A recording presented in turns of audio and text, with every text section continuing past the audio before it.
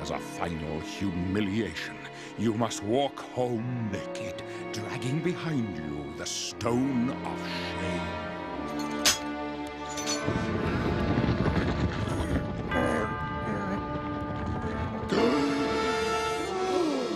The mark!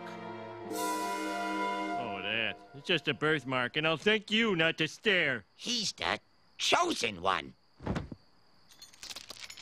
You are the chosen one whom the sacred parchment prophesied would lead us to glory. Now to the top of Mount Springfield for the coronation. Remove the stone of shame. Attach the stone of triumph. Oh!